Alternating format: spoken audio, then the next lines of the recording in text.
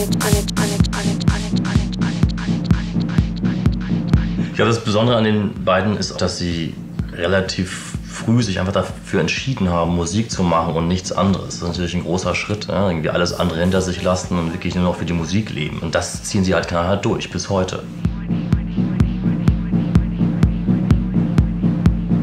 The first time I really paid attention to Pam Potts was a few years ago when I had a gig with Dubfire. He played the Confronted track, and, and I asked them, what the hell is this?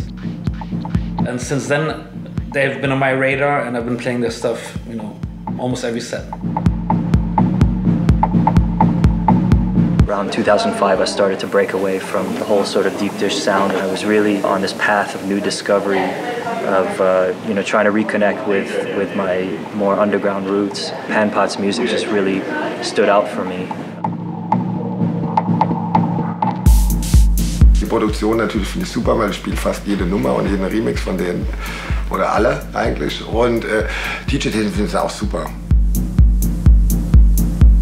People are always crazy when Pan Pot is playing. They are huge stars now.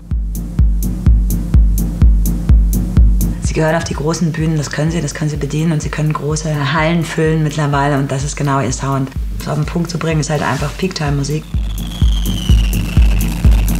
Wenn man den Clubs auflegt, dann hat man es als DJ nie so gern, ähm, wenn jemand was ins Handy eintippt, der das hinhält und da steht dann drauf, spiel mal was von. Mit die einzigen, wo ich mich darüber freue, sind eben Punpot. Zum einen, weil es sowieso ganz automatisch in fast jedem Set von mir auftaucht. Äh, zum anderen, weil ich dann sagen kann, was willst du denn hören, ich habe alles.